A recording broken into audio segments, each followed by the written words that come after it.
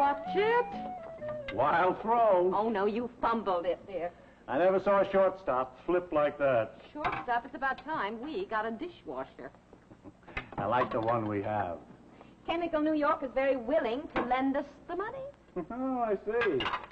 You've been down to our hometown bank again. What'd you do today? Pitch horseshoes with the vice president in charge of loans? Chemical New York's loans are so low in cost there that... we- Now that you fumbled. Wild throw. How much do those dishes cost? 40 cents apiece. If you break one a day for a year, that's, uh, A hundred and forty-six dollars. which uh, practically pays for a new dishwasher. Okay, see the man at Chemical New York. For an appliance loan or any home improvement loan up to $5,000, there's no place like Chemical New York, the bank with the hometown touch.